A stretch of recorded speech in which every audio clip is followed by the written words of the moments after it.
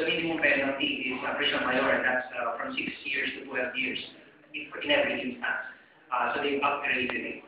Okay. Um, cybercrime muna. Oh, sige.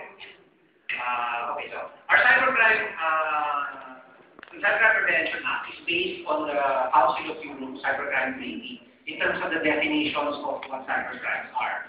Uh, so there are, there are definitions of uh, what are uh, illegal for example, or forgery. Uh, so these are just generic uh, cybercrimes. I think uh, posted an article about uh, 17 crimes that are covered by the, by the um, cybercrime law. So just about any cybercrime law, uh, cybercrime you can think about is covered by that law. Uh, in addition to the, those crimes, they also included a provision on, uh, on spam or unsolicited commercial uh, communication. Um, now, you should, be, you should be a bit concerned about that, but actually, uh, what the law provides, or it, it, you violate the law, you only commit a crime when you send a spam. If you don't provide uh, an opt-out uh, in your email, and you conceal uh, the source of your email. So, so long as you're upfront about where your email is coming from, and you give the recipient uh, an opportunity to, uh, to opt out of the future messages, then you should be okay insofar as the cybercrime law is concerned. Uh, however, you might run into problems with respect to the data privacy law. To the extent that under the data privacy law, uh, when you deal with personal information, uh, or you process personal information, uh, you should be careful, otherwise you might be committing uh, a crime actually punishable under the data privacy law. So unsolicited commercial uh, communication. Uh, the law also punishes cyber squatting. So I don't know who among you would register domain names uh, where you don't own the trademark to those domain names. Uh, now, if, that, if what you register is confusingly similar or the same as a registered trademark, then you are committing crime under the Cybercrime Prevention Act. Uh, punishable, if I'm not mistaken, also by uh, prision mayor. Uh, there's also a provision on um, uh, penalizing identity theft. And I must say that when I looked at it, it was, poorly worded because it, it says that if you really acquire uh, uh information or identifying information uh, you could be punished under the law. Uh, so somebody asked me a question, well, what if you have somebody's name and their email address? And you acquired it, could be technically be uh, penalized under identity theft? I said, it seems like it's covered within the language of the statute. Uh, but I imagine um, the, uh, I hope in the IRR, they clarify that when uh, that all the acts mentioned in identity theft must be preparatory, or there must be proof that it is not in relation to taking advantage of the identity of a particular person. So that's, that's a problematic provision.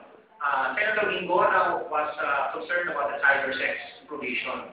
Okay, so there's a cyber sex provision, and what it seeks to penalize uh, is the uh, transmission of lascivious uh, content, even on one-to-one -one communication claim is done for, uh, for favor, for money or favor. Obviously, this covers the cyber sex debt that you've heard about. Uh, because the law says whether you directly engage in or indirectly. Because a lot of the cyber sex the people who run them are offering those type, uh, those uh.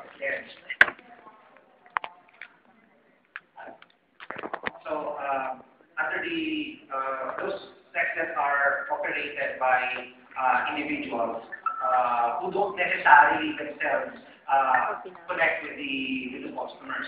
Interestingly, under the law, uh, interestingly under the law, the one who's penalized is the uh, is the person who sorry, it's not the client, it's the person who provides the service. People engagement uh, maintenance control operation, directly, indirectly, you receive this exhibition of sexual organs, sexual activity, with the aid of uh, leadership for favor of consideration. So if you're the one uh, on, on the side that gets paid, you're the one who uh, is penalized. But if you're the one paying, you're not penalized under the law. Uh, if you're doing it indirectly, meaning you're hiring people to do this, if some people have used this as a business, uh, then it's punished under the law as well. Uh, so Spanish here, actually, the commercial uh, and of course, the, uh, the most uh, famous of all is the libel provision.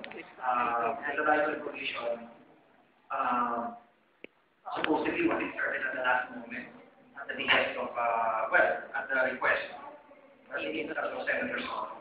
Uh, when you look at it, actually when I saw this the first time, I was not so concerned because, uh, libel was already punishable under the revised penal code. And all this said, all this provision says that it's still punishable under the revised penal code. Actually, the problem isn't there.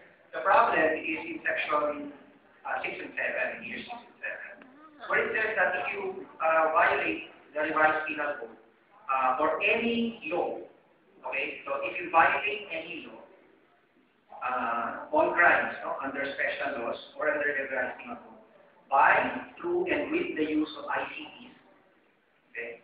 then you then that is a cybercrime.